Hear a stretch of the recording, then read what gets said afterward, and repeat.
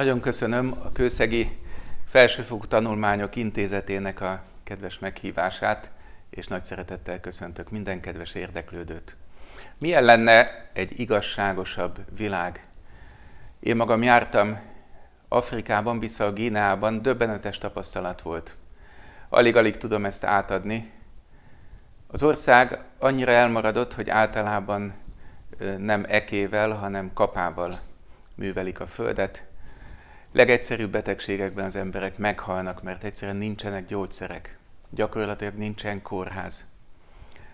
Hallottunk olyan esetről, hogy császármetszésre futottak be a fővárosba egy fiatal asszonynal, a gyermeket ki tudta szedni az orvos, de az asszony nem tudta úgy összevarni, hogy életben maradjon.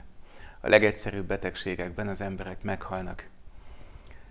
És fájdalmas volt azt látni, hogy minden, ami igazán értékes ebben a kicsi országban, a fák, a halak, az ásványkincsek, ez szinte kizárólag hatalmas nyugati érdekcsoportoknak a tulajdonában van.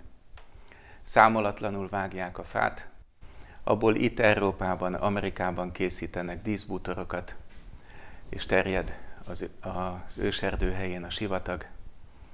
Viszik a halakat szintén számolatlanul portugál, francia hatalmas kereskedő cégeknek a hajói, zsebbe fizetnek a diktátornak. A diktátort pedig mindig újra megválasztják, ez is egy nagyon furcsa és visszás helyzet ott Afrikában. Tartanak választásokat, parlamenti választásokat, ahogyan mi demokratikus, fejlett világ ezt elvárjuk. Egy olyan országban, ahol kb. 80% analfabéta. Egy olyan papíron x be egy néhány nevet, ahol egyetlen betűt sem tudnak elolvasni. És utána néhány héttel az egyetlen rádió, ami van az országban kihirdeti, hogy megint a diktátor győzött. A diktátort pedig ellátják fegyverekkel szintén ugyanazok a hatalmas érdekcsoportok, akiknek ez az állapot rendkívüli módon megfelel. Milyen lenne egy igazságosabb világ? Ahogyan búcsúzkodtam onnan Afrikából, a kis plébániától, egy kis fiúcska odafutott hozzám, és mondta, hogy lenne egy nagy kérése. És azt mondta, hogy egy tornacipőt szeretne kérni. Mert nagyon szeret focizni, és nincsen rendes cipője, mezitláb nem tud úgy futni. A nagy álma egy ma élő kicsi gyereknek Afrikában nem mobiltelefon, nem valami márkás ruha, egy egyszerű tornacipő. Ugyanarra a földre születik, mint nagyon sok más gyermek Európában vagy a világ szerencsésebb részén. Hadd kezdjem az előadásomat onnan, hogy a mai gazdasági rendszerünknek, a szabad versenyes kapitalizmusnak az eredetét egy kicsikét megmutatom, ennek a szellemi őseit és a kialakulását. Egyik legelső gondolkodó, aki ilyesfajta szabad versennyel kapcsolatos eszméket megfogalmazott, Vincent de Gournay, akitől ez a híres mondat származik, lesz faire, lesz passé, engedjétek, szabadon, hadd menjen a gazdaság. Nem kell ebbe különlegesen beleszólni. A szabadság jut uralomra. Aztán a sokak által ismert Adam Smith azt mondja, hogy meg kell különböztetni a társasági életnek a szabályait, ahol van emberség, barátság, becsület, segítőkészség, és ettől teljesen külön kell választani a gazdasági életet. Ott ezek a szabályok nem érvényesek. Ott csak a hatékonyság, a haszon maximalizálása. Mindenkinek ez az érdeke, a gazdaságnak erkölcsmentes területnek kell lennie. Ekkor fogalmazódik meg ez először, ami sajnos a következő évszázadokban egy közhiedelemmé válik. Erkölcsmentes terület. Ebbe ne szóljon bele se az állam, se bármifajta erkölcsi proféta. Azt mondják, hogy működik egy láthatatlan kéz a szabad piacon, ami ügyesen osztja a nyereségeket. Az állami beleszólást minimumra kell csökkenteni. Mi ennek a fajta gazdasági rendszernek a távolabbi szellemtörténeti alapja? Szeretnék egy rövid filozófiai eszmefuttatást végigvinni, remélem, hogy érthető lesz, és igyekszem ezt rövidre fogni. Elindult talán a 14. században a nominalizmussal. A nominalizmus azt mondja, hogy a dolgok lényegét nem lehet megismerni. A fogalmaink, amelyeket alkotunk és használunk, ezek csak nevek. Ezt jelenti maga az irányzat elnevezése és a nominalizmus, nomen, azaz név.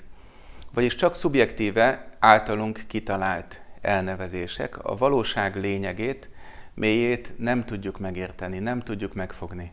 Ezek csak szubjektív, a felszínt, a jelenséget megfogalmazó elnevezések. Mi van emögött a filozófiai gondolat mögött? Az, hogy maga az igazság nem megismerhető. Csak a felszín, csak szubjektív, általunk kitalált gondolatok. A valóság, az igazság megismerhetetlen, megfoghatatlan. Vélemények vannak, ki így gondolja, ki úgy gondolja. Minden vélemény egyenlő súlyú, éppen ezért súlytalan. Igazság nincs, csak szubjektív vélemények. Látszólag úgy tűnik, hogy egy ártatlan filozófiai gondolat. Úgy gondolják sokan, hogy sajnos nem tudjuk a valóságot ö, teljes mértékben vagy a mélyéig megismerni.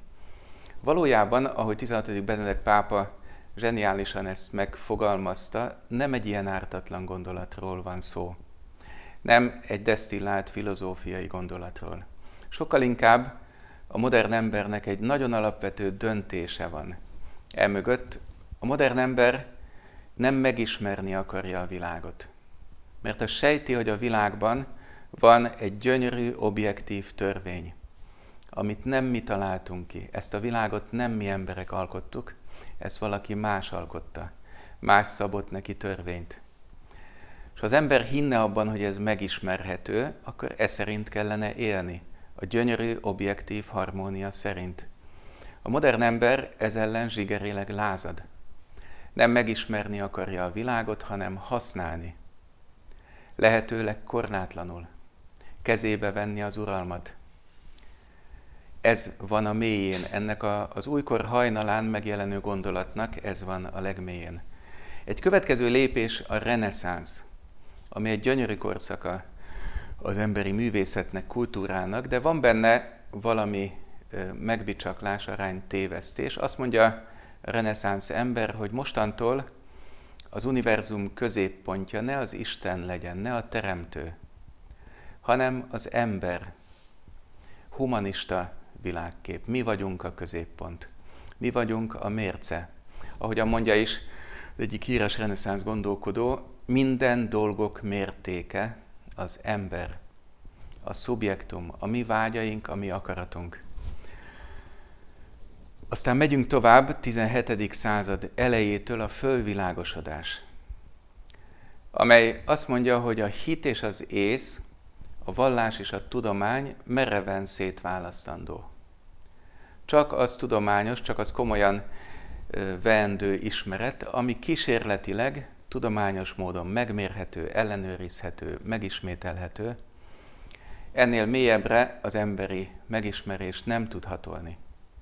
A vallás esetleg engedélyezett a sekrestében, úgy, mint szubjektív vélemény, kedves kis saját elgondolás és terv az életről, de komoly helyeken, mint parlament, mint törvényhozás, a társadalomnak a terve az álma a saját életéről, gazdasági élet, tudomány. Ilyen helyeken a vallásnak semmi helye nincs, és nem is lehet. A kettőt élesen kezdik szétválasztani. Benedek pápa úgy nevezte ezt, hogy az ész önkényes önkorlátozása. Mintha a modern ember egy ponton karddal ketté vágná a valóságot, és azt mondaná, hogy a felszíne megismerhető, amíg számolni tudunk, amíg mérni tudunk, kísérletezni tudunk, a többivel nem foglalkozunk. Az komolytalan, onnantól megismerhetetlen. Csak érzések, intuíciók, szubjektív vélemények lehetségesek. Pedig, hogy egy példát mondjak, a Mozart Requiem evidens módon gyönyörű. De ezt nem lehet kiszámítani, nem lehet bebizonyítani, nem lehet megmérni. Ez a szépség mégis létezik. Ez a valóság, a Mozart Requiem szépsége talán sokkal fontosabb, mint az, amit kémcsövekben meg tudunk mérni, mint amit kísérlettel igazolni tudunk. Hogy egy férj és egy feleség szeretik egymást, hűségesek, hogy a családjuk szépen épül, ez is egy hatalmas valóság. Létezik. Emberek életét áthatja. Ez is a valóságunk része. A hit és az ész között nincsen éles határ. A hit egy kicsikét mélyebbre tud hatolni, mint az ész, de ugyanabba az irányba hatol, ugyanannak a valóságnak a mélyére. A kettő egymás segíti. Ahogyan második János Pál pápa mondta, olyanok, mint két szárny, amely röpíteni tudná az emberiséget. Jelenleg az egyik szárnyat levágtuk, a hit szárnyát levágtuk. Emiatt is az emberiség tisztánlátása nagyon sok területen elhomályosult. Egy következő nagy lépés a szabad versenyes kapitalizmus megszületése, amiről az előadás elején szeretnék részletesebben szólni. Azt mondják ezek a gazdaság filozófusok, hogy a gazdaság egy önálló, erkölcsmentes terület. Abba a vallásnak, erkölcsnek, sőt az államnak is semmi beleszólása nincs.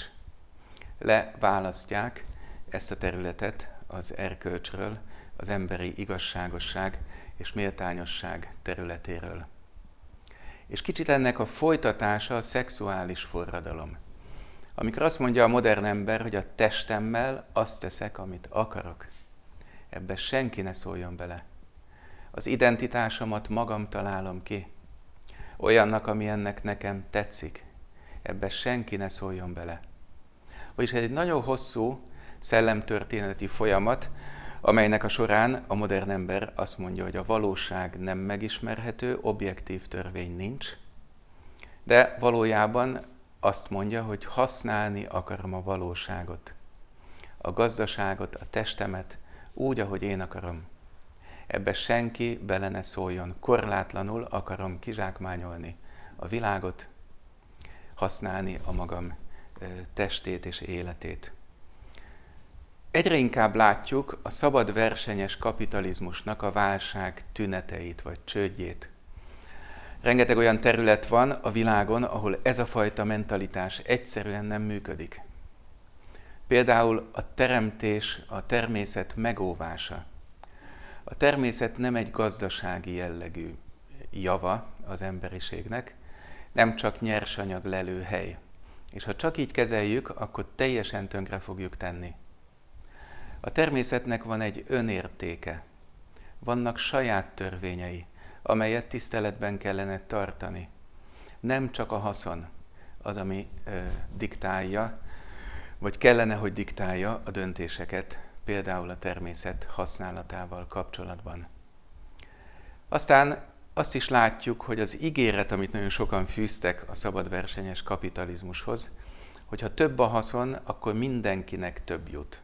Ha nagyobb a torta, a szegény is jobban jár, ez sajnos egyáltalán nem így van. Aki bölcs, az régóta tudta, hogy ez nem így van, most már a számokban is látjuk, hogy hiába nő óriási módon a világnak, a Földnek a GDP-je évről évre, ennek ellenére a szegény és a gazdag közötti különbség óriási módon növekszik. Egyáltalán nem csökken, hanem a szegény és a gazdag közötti gazdasági olló egyre szélesebb. Egyre újabb és újabb gazdasági válságok, illetőleg azt is látjuk, hogy ez a szabad versenyes világ nem teszi igazán boldoggá a nyugati embert. Ugyanis az ember nem erre született. Nem arra, hogy önmagamért küzdjek, hogy gyűjtsek, hanem arra születtünk, hogy alkossunk, építsünk, hogy szeressünk, hogy adjunk. Nem embernek való ez a fajta gazdasági berendezkedés. Néhány apró példa erről a válságról, a modern szabadversenyes világ válság tüneteiről. A csád tót, a tónak a történetét látjuk itt a diaképen. Nem is olyan régen, még ez a tó négy országnak volt a nagyon nagy vízlelő területe, rengeteg ember és állatok tudtak ebből létezni. Jelenleg egy kicsike folt az, ami maradt a gyönyörű, hatalmas tóból. Talán ismerősek ezek a képek, ha egy százfős falunak képzelnénk el a Földet, akkor Körülbelül 30-al lennének ebben a faluban, akik jól tudnak lakni általában minden nap. Ebből a 30-ból kb. 15 túlsúlyos lenne. Kb. 50-en gyakran lennének éhesek, gyakran nem tudnának kellő mennyiségű táplálékot kapni, de ez még egészségügyi károsodást bennük nem okozna. Körülbelül 20 olyan szinten éheznének, hogy csomó egészségügyi károsodást is szenvednek emiatt. És körülbelül egy lakos állandóan az éhhalál szélén lenne. Jelenleg a Földünkön körülbelül 6 másodpercenként egy gyermek éhen hal. 6 másodpercenként meghal egy kicsi gyermek. A Földünk nem mozdul meg, hogy segítsen pedig nagyon-nagyon könnyen tudnánk segíteni. Bőven van elegendő élelem mindenki számára. Bőven van elég repülőgépünk, hogy oda a segítséget, ahova kell. Az emberiséget sajnos ez nem mozdítja meg. A jelen világunk a sikereseké, az erőseké, a csillogó nyugaté. A világnak az egyik részét kicsit ott hagytuk az út szélén. A másik kép, amit itt látunk, a kis malaccal, azt mutatja, hogy hogyan oszlana meg ennek a százfős falunak a pénze. És azt mondja a kép, hogy hat ember zsebében lenne kb. 59%-a a falu pénzének. És mind a hat az Egyesült Államok állampolgára lenne. 74 ember zsebében lenne 39%-a a pénznek, és 20 ember zsebében 2%. A Földünk döbbenetesen igazságtalan.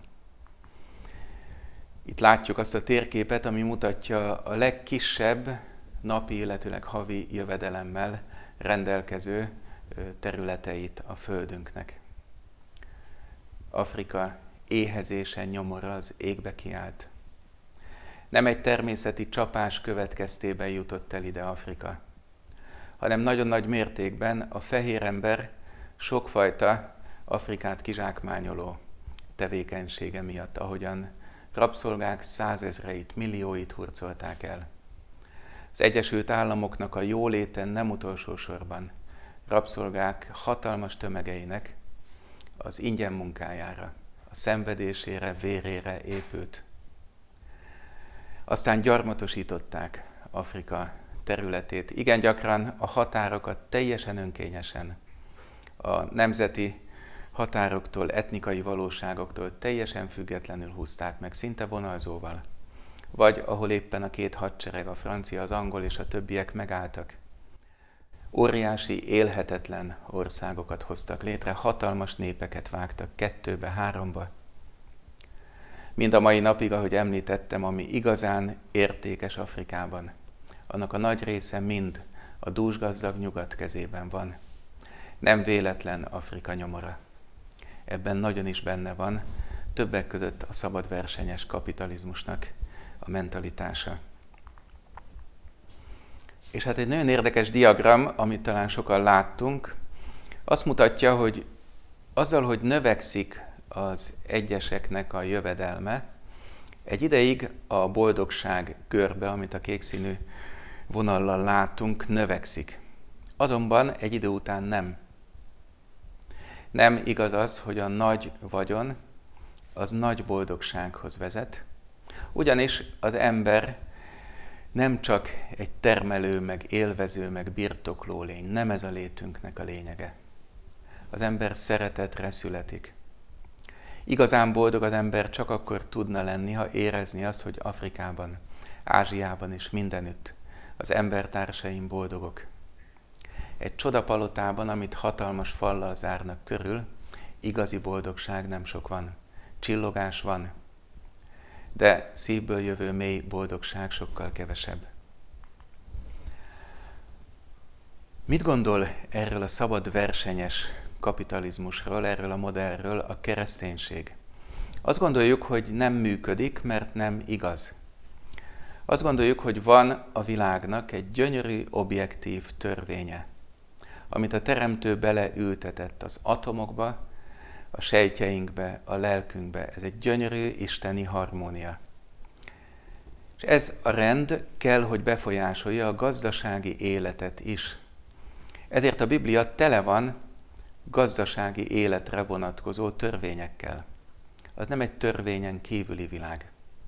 A régi bibliai ember rengeteg törvényt hozott a gazdasági élettel kapcsolatban. Például rabszolgák szabadon bocsátása hét évente, vagy adósságok elengedése, vagy a szegény ember számára parlagon hagyni a földet, segíteni azt, hogy tudjon gyűjtögetni. Millió módon próbálja a Biblia gazdasági élet igazságosságát, méltányosságát védeni. Az uzsorakamat megtiltása. Tehát a Bibliában a gazdasági élet Isten törvényei alapján van szabályozva. Ahogyan egy magyar nagy nevű filozófusunk Nyíri Tamás mondta, nem minden erkölcsös, ami hasznos. És nem minden hasznos, ami erkölcsös. Nem a haszonelvűség. Az, amire rá lehetne építeni bármit is az emberi életben. Nem a korlátlan szabad verseny az a fajta elmélet, amire a gazdasági életünket rá lehetne építeni. Miért nem? A szabad versenyben az erősek világát építjük. A gátlástalanét. Azt, aki a másikon nyugodt lelkiismerettel átgázol, a maga pecsenyéjét megsüti. Az erősek a gátlástalanok világát építi föl. A szabad versenyben a gyönge, a beteg, a szegény, az idős mindig menthetetlenül lemarad. Sokan azt mondják, hogy lehet, hogy nem szép ez a szabad versenyes gazdasági rendszer, de ez működik. Ez működött már az evolúcióban is. Az erősebb állatfajok győztek, azok maradtak fönn. Így tudott egyáltalán fejlődni a világ. A tudósok nagyon határozottan azt állítják, hogy ez nem így van. Ez egy óriási tévedés. Az evolúcióban nem a legerőszakosabb állatfajok győztek. Rengeteg nagyon erőszakos állatfaj kipusztult, némelyik nagyon gyorsan, mert a fajtársait vagy a táplálék láncát fölfajta. Nem a legerőszakosabb állatfajok győztek, hanem a legalkalmazkodó képesebbek. Ha elképzelnénk mondjuk egy családot a szabad verseny logikája alapján, ha férj és feleség valahogy így gondolkodna, hogy én legyek boldog, a magam igazáért küzdök, a magam területéért, jogaiért, ebből soha egy boldog család nem lesz. Két önzésből egy boldog házasság nem lesz soha. És éppen így egy társadalmat is önmagukért küzdő cégek, érdekcsoportoknak a harcából soha nem fogunk tudni fölépíteni.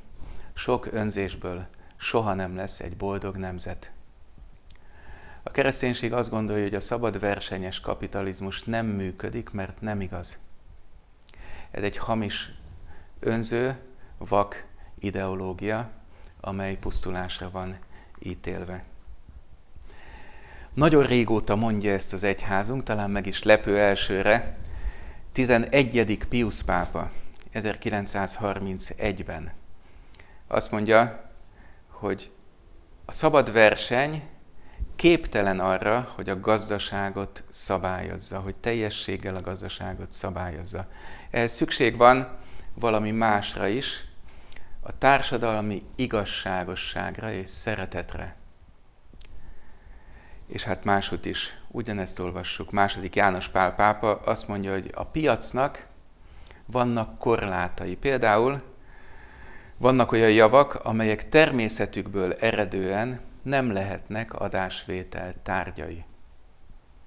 Ilyen nyilvánvalóan maga az ember, a természet, a víz, a levegő, az elemi szükségleteink, és azt gondolom, hogy nagyon sok minden más, el kellene gondolkodnia a világnak, hogy hol van a szabad verseny határa. Amartya Sen mondja azt, hogy a piaci mechanizmus logikája a magánjavakra méretezett, nem pedig a közjavakra. Mit gondolunk, mi keresztények, egyáltalán a világ rendjéről és benne a gazdasági rendről?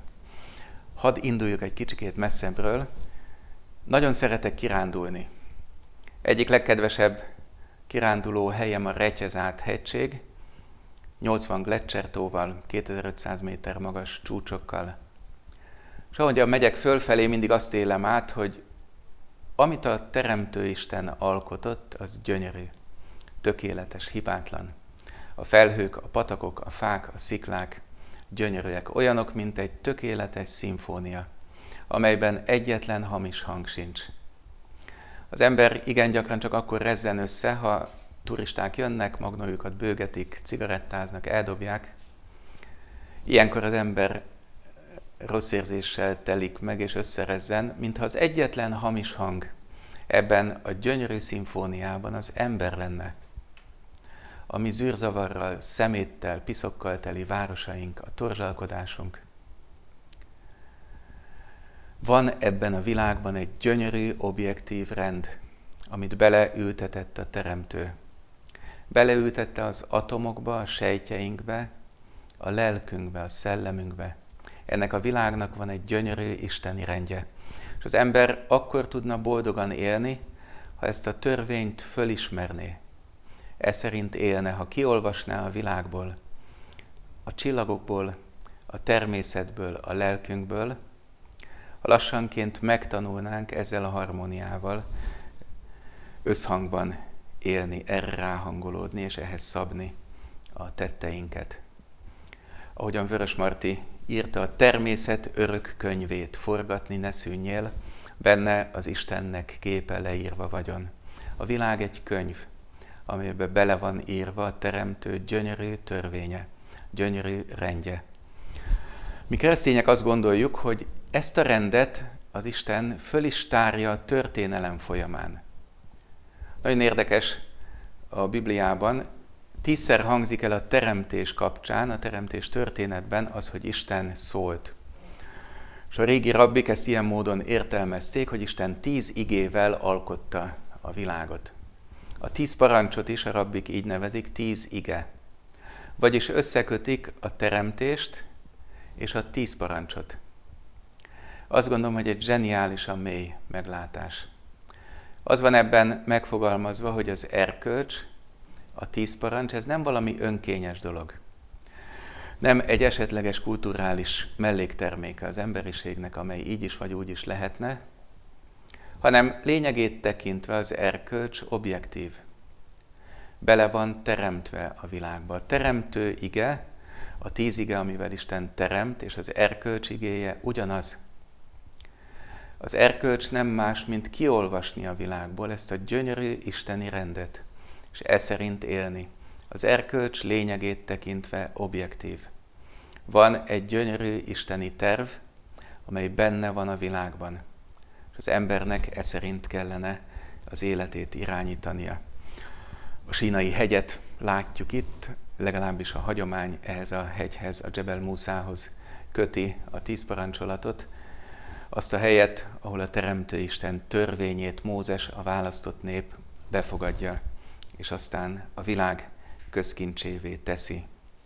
A két törvény tehát, a teremtés törvénye és a, az erkölcsi törvény ugyanaz. Az embernek ezt a törvényt kellene kiolvasnia a világból. A kereszténység azt gondolja, hogy ez a gyönyörű isteni törvény, gondolat, ige, az idők teljességében testet öltött Jézusban. Ahogy mondja a János evangélium, az ige testé lett. Az az ige, aki által minden lett. Így olvassuk, nélküle semmi sem lett, ami lett, minden általa lett. Az isteni gondolat, logika, logosz, amelyel alkotta a galaxisokat és az univerzumot, az idők teljességében, a történelemben fölragyog. Jézusban fölragyog. Ha szeretnénk tudni, hogy mi a világegyetem célja, a galaxisok célja, és benne az ember életének a célja, mi keresztények azt gondoljuk, hogy akkor Jézusra kell néznünk. Benne tárul föl a világ szíve, a teremtő szíve.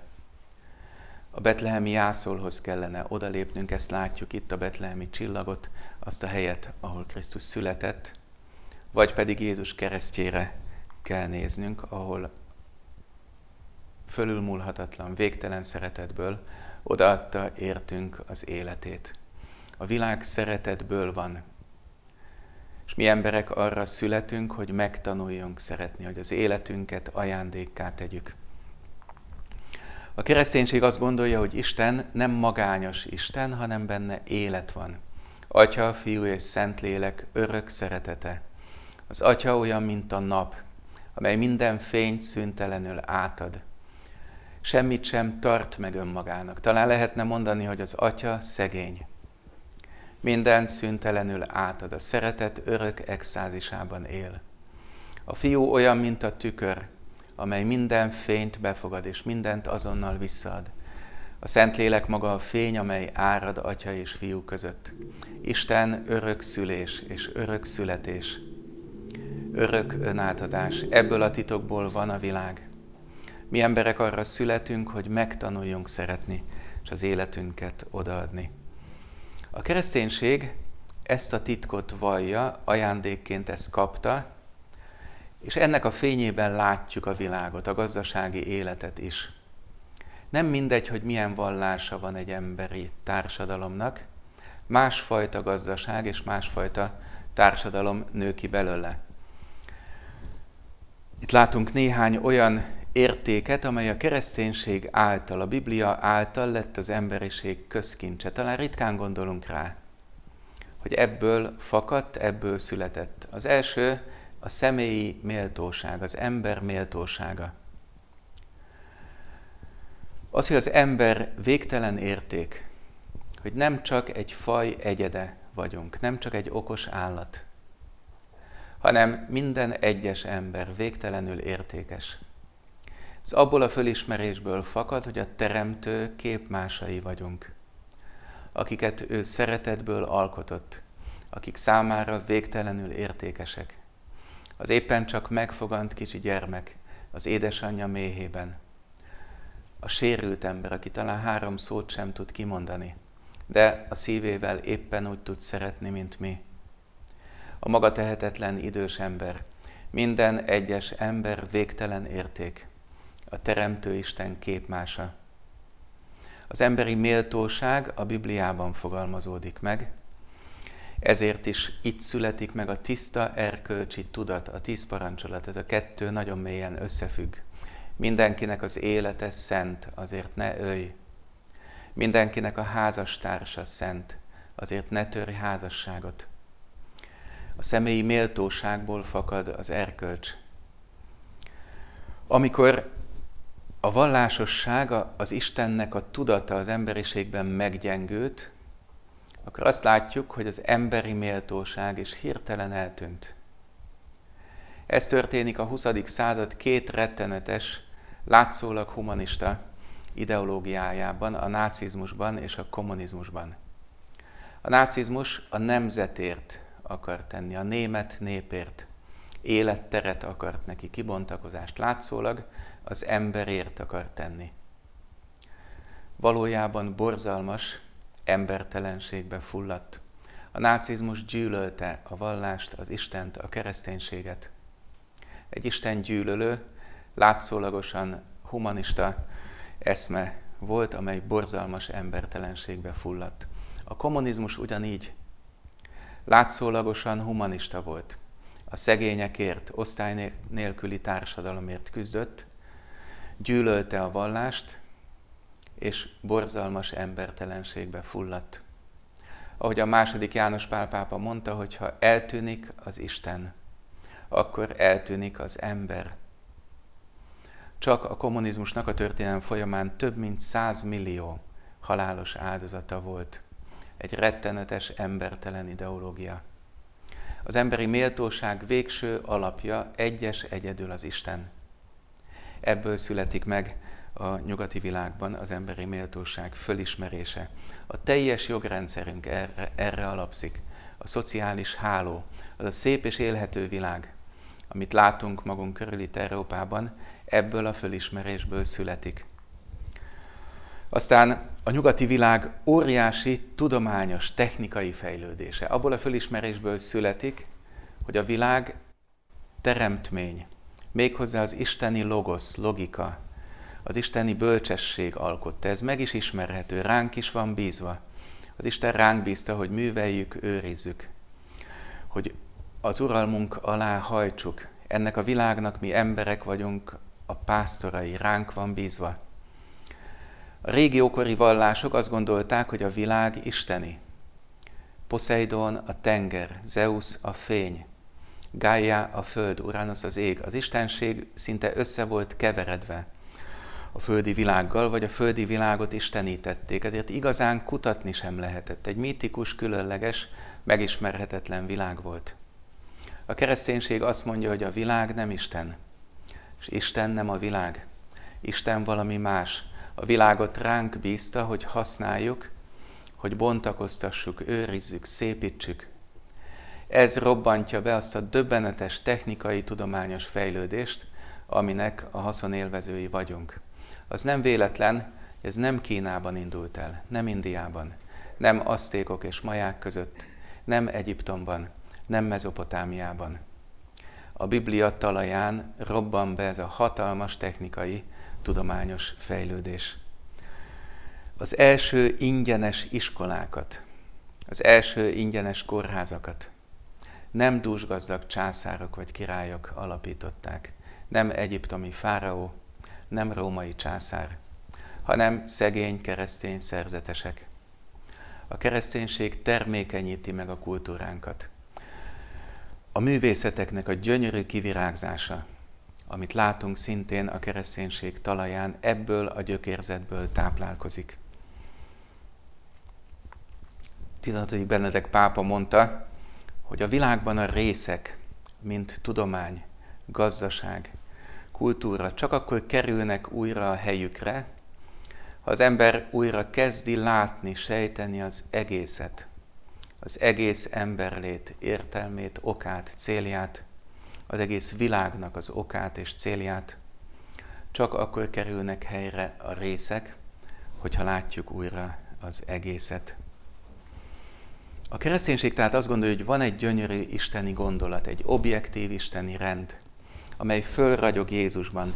Jézus tanít is erről, hogy milyen lenne egy Isten képű világ. Egy olyan világ, amely Isten álma szerint létezne, ezt ő így hívja, hogy Isten országa, ahol Isten törvényei érvényesülnek.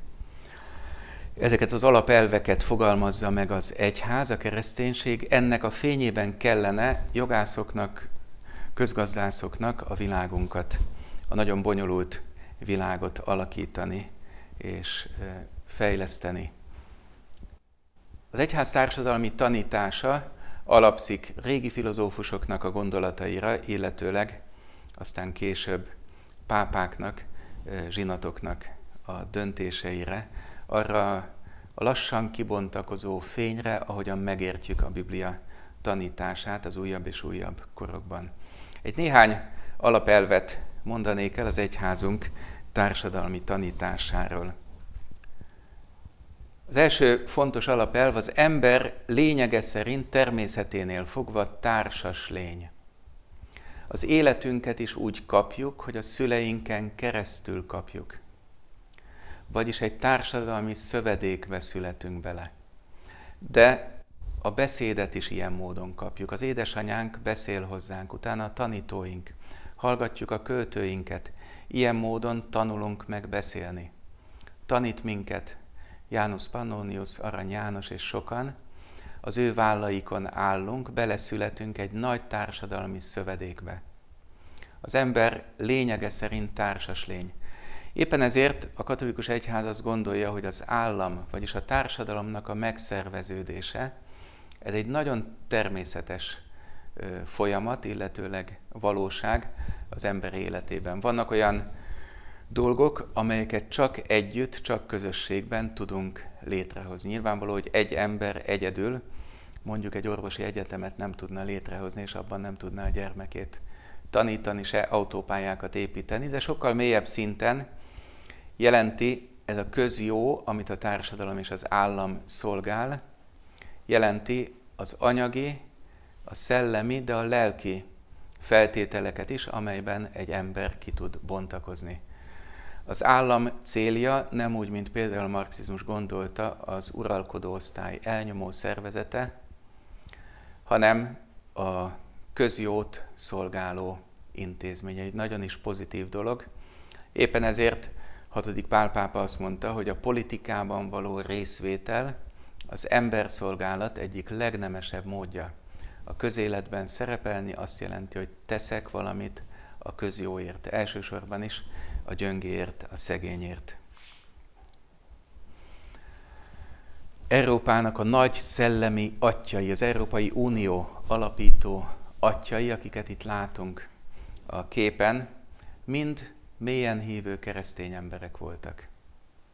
Ebből a szellemiségből születik meg a második világháború döbbenete után az a vágy, az az álom, hogy soha többet például Németország és Franciaország között háború ne legyen. Ez egy óriási nagy lépése a nyugati világnak, keresztény gondolatból született. Az Európai Unió lényege nem a vámunió, nem gazdasági érdekek mentén születik, hanem eszményekből. Elsősorban az evangélium, a kereszténység gondolkodás módjából. Martin Buber, zsidó gondolkodó mondta, hogy egy kultúra addig él, amíg táplálkozni tud abból az éltető forrásból, amely létrehozta. Európát a Biblia, a kereszténység, a Krisztusi valóság hozza létre. Ebből a forrásból születik, ezt tette termékenyé. Addig tud létezni, amíg ebből a forrásból merít. Amikor látunk például egy olyan Európai Uniót, amelyik az alap alkotmányába ezt a szót sem hajlandó bevenni, hogy kereszténység, akkor döbbenettel kell azt tudomásul vennünk, hogy sajnos a mai modern nyugati ember, mintha a saját gyökereit, a saját éltető forrását tömné be, vágná el, mintha nem látná azt, hogy miből született, minek köszönheti mindazt a szép világot, amely őt körülveszi. Egy másik alapelve a keresztény társadalmi tanításnak a szubszidiaritás. Ez azt jelenti, hogy ha egy alsóbb szintje a társadalomnak valamit meg tud oldani, akkor azt ne vegye át tőle, ne vegye ki a kezéből egy magasabb szint. Például a gyermek nevelésének a legfőbb felelőse, erre leginkább jogosult a szülő, mindenek előtt a szülő. Nem az iskola, nem az állam, hanem a szülő. Ő adja tovább az életet, ő a legelső felelőse a gyermeke életének, nevelésének. Az, hogy milyen fajta nevelést kapjon a gyermek, azt nem az államnak kell eldöntenie, hanem a szülőnek. Ha egy szülőcsoport meg tudja szervezni, kéri, akarja, hogy keresztény szellemben, ebben az erkölcsi világban neveljék föl a gyermekét, akkor ehhez joga van. Ebbe senki nem szólhat bele. Az államnak kutya kötelessége ezt épp olyan módon támogatni, mint bármilyen más iskolát. Épp olyan adófizető a keresztény szülő, éppen úgy dolgozik, joga van ahhoz, hogy a maga elképzelése szerint nevelkedhessenek a gyermekei. A kereszténység úgy gondolja, hogy nagyon nagy érték, természetből fakadó érték a nemzet is. Ugyanis az ember történelmi és társas lény. Kialakultak nyelvek, közösségek. Ez is egy nagyon-nagyon természetes jelenség az emberiség életében. Anyanyelvekben bontakoztatjuk ki a gondolatainkat, a közösségeinket. Ez egy olyan érték, amelyet óvni kell. Az a fajta globalizmus, amelyik ezt teljesen meg akarja szüntetni, el akarja gyengíteni, úgy gondoljuk, hogy a teremtő szándéka ellen van, az emberi természet ellen van. Egy híres gondolkodó mondta, hogy a negatív értelembe vett globalizmusnak van öt halálos ellenség. Az első halálos ellenség az Isten és a vallás.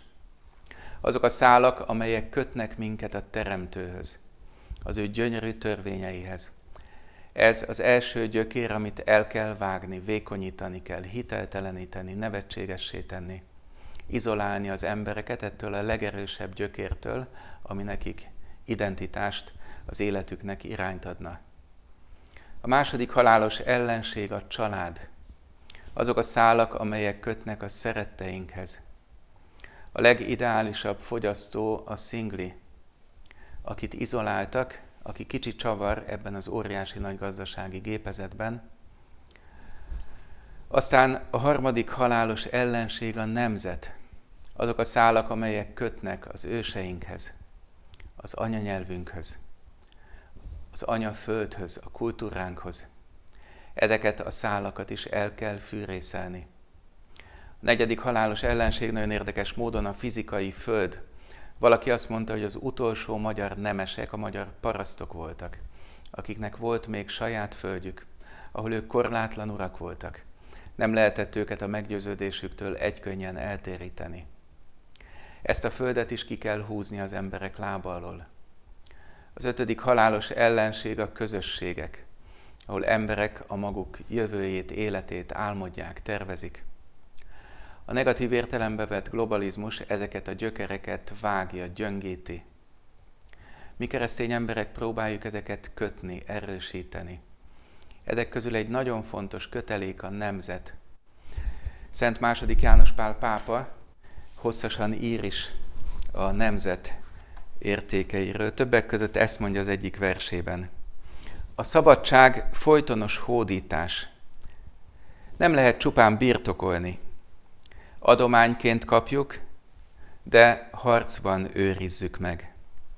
A szabadságért önmagaddal fizetsz. Ezért hívják szabadságnak azt, ami, míg fizetsz, megengedi, hogy újra önmagad birtokosa lehess. Hol a határ a generációk között, akik nem fizettek eleget, és akik túl sokat fizettek? Mi melyik oldalon állunk?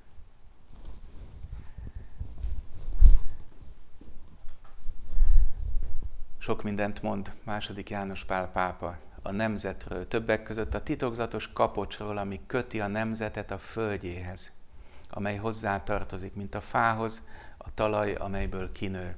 Ha elveszik tőle, a föld kiállt a népe után, és a nép kiállt a földje után.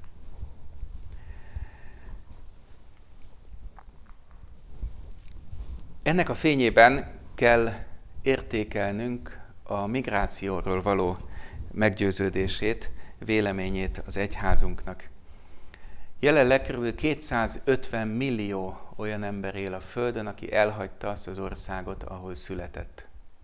Soha eddig hasonló mértékű kivándorlással, elvándorlással nem kellett szembenéznie az emberiségnek. Mik ennek az okai? Nagyon sokfélék. Egyetlen egyet említek csak most meg, az óriási gazdasági egyenlőtlenség. Ahogy David Korten írja jelenleg, a Föld leggazdagabb 20%-a fogyasztja el a Föld javainak kb. 84%-át. Az energia, az ásványkincsek, élelmiszer és mindennek a kb. 84%-át.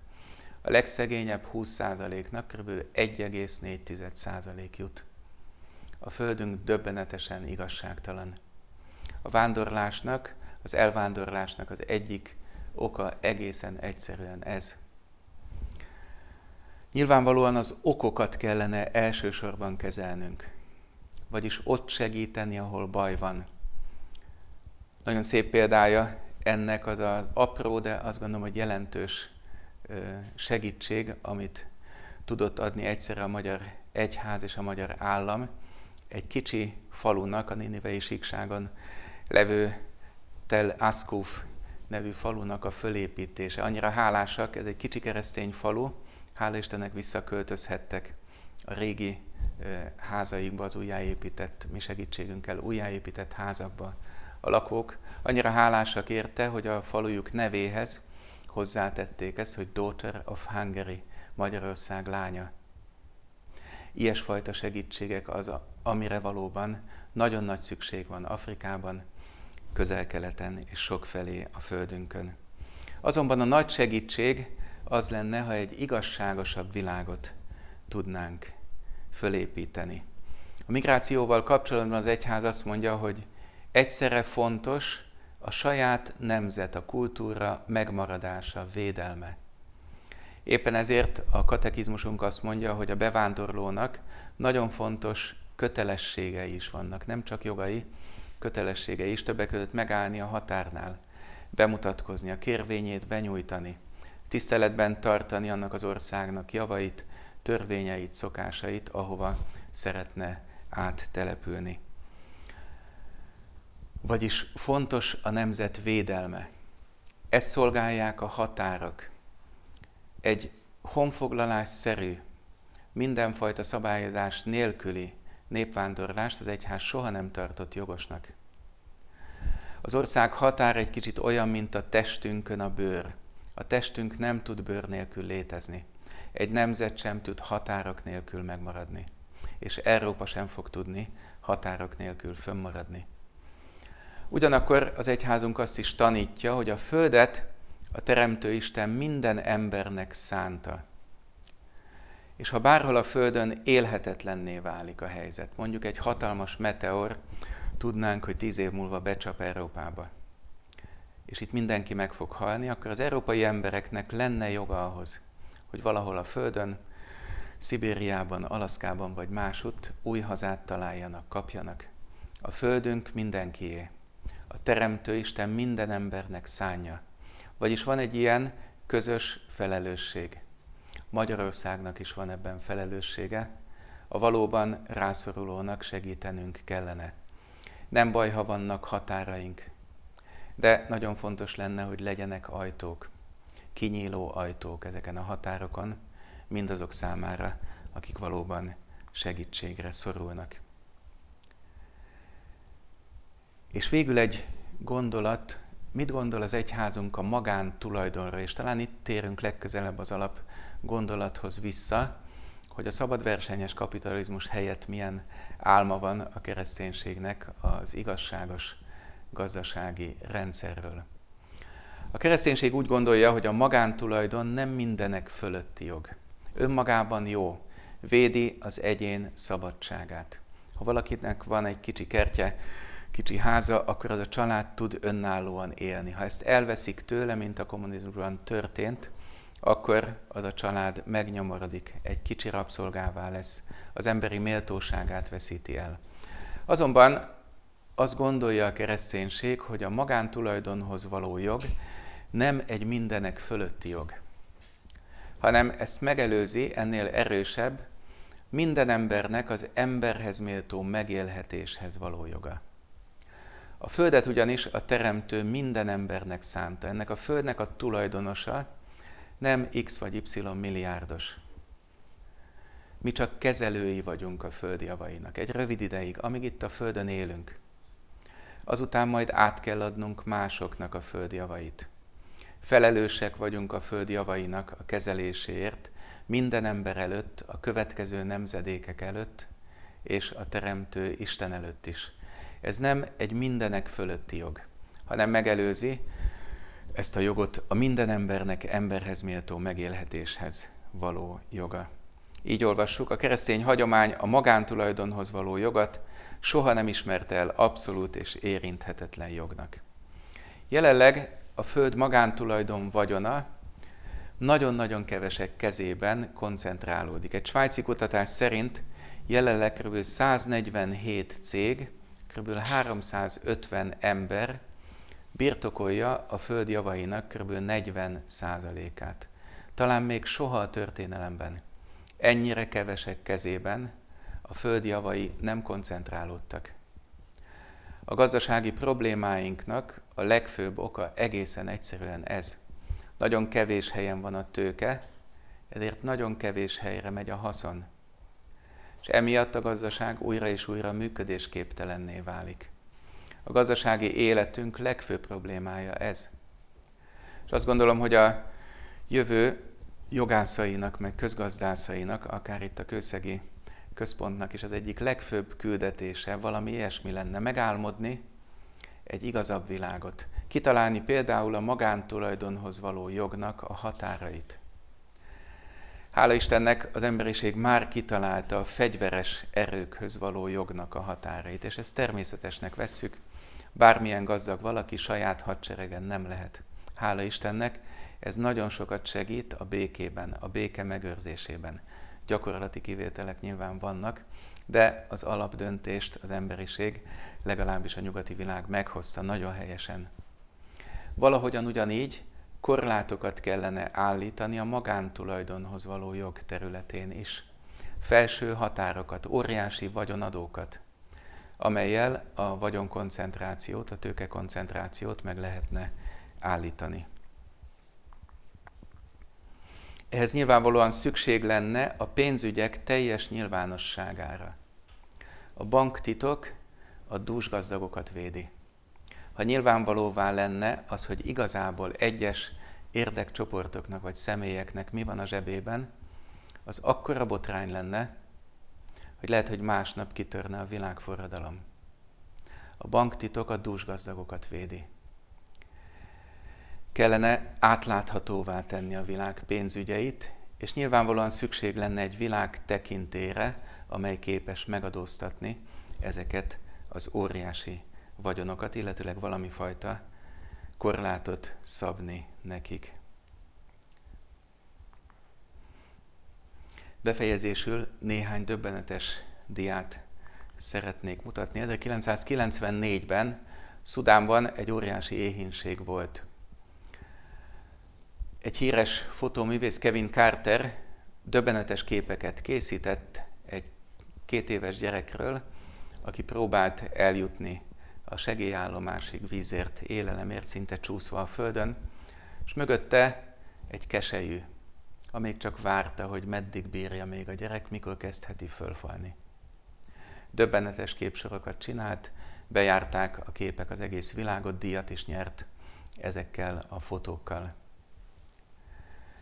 Néhány hónappal később azonban elkezdtek levelek jönni Kevin Carterhez, amelyek ilyesfajta kérdéseket tartalmaztak, hogy Uram, hogyan volt, volt ön képes arra, hogy hideg fejjel lefotózza ezt a kisgyereket, meg a keselyűt?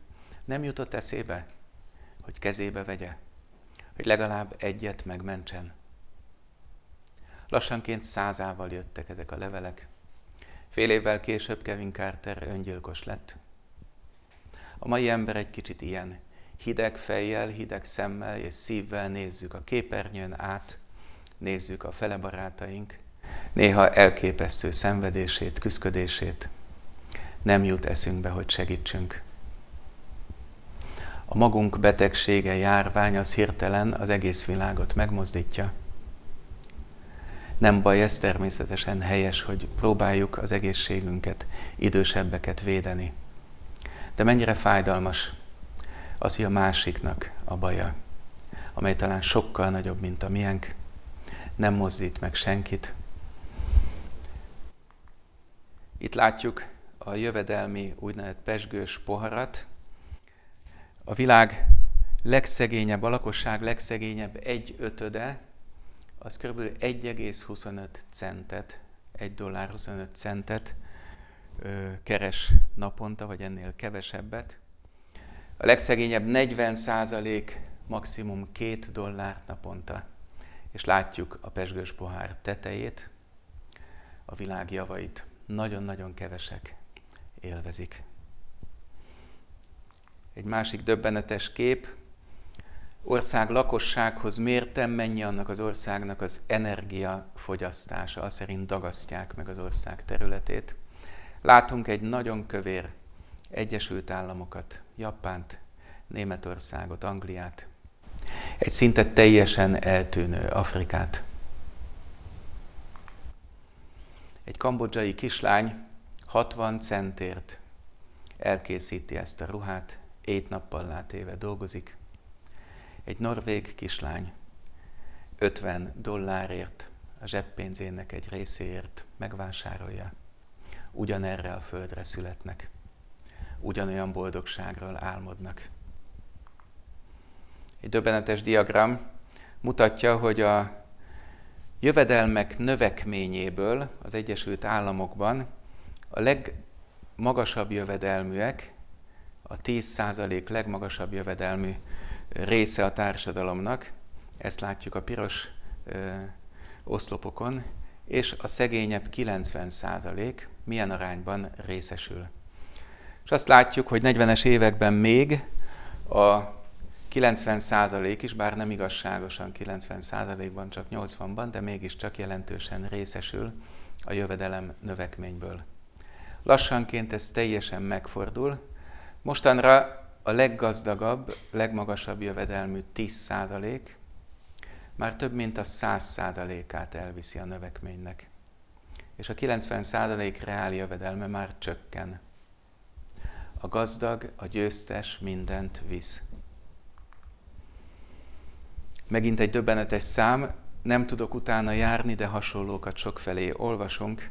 Éger Ákosnak a tanulmánya erre az eredményre jut, hogy kb. 8 személy vagyona ugyanannyi, mint a föld lakossága szegényebbik felének az összvagyona. És szintén döbbenetes adatok. Legalul látjuk a összes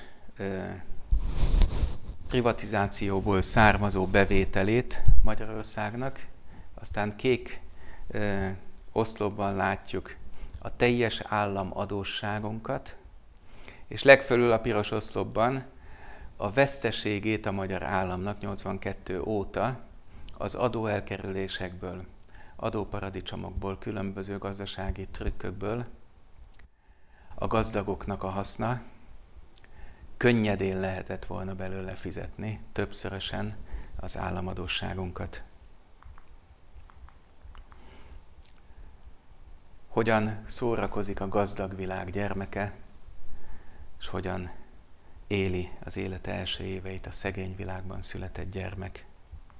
Hogyan reggelizik egy gazdag családba született gyermek, hogyan várnak a sorukra a vízért, a sokszor szennyezett vízért a szegény világ gyermekei. Kiáltó az ellentét, és nagyon-nagyon fájdalmas. Hogyan tanul a gazdag gyermek, és hogyan a szegény. Hogyan hajtja államra a fejét a gazdag világ gyereke, és hogyan hal meg a szegény. Döbbenetes számok, az éhezés és rosszul tápláltságnak a kezelésére évente 19 milliárd dollár kellene körülbelül. Ez nagyjából ugyanannyi, mint amit egy évben az emberiség kozmetikumokra költ. Szintén, ha csak a fegyverkezési költségnek egy százalékát minden nemzet az éhezők táplálására szánná, az bőven elég lenne, könnyedén megoldhatná az emberiség ezt a kérdést, ha akarná. A végítélet bírája minket is meg fog majd kérdezni. Éheztem, adtatok-e ennem? Szomjaztam, adtatok-e innom? Köszönöm a figyelmet!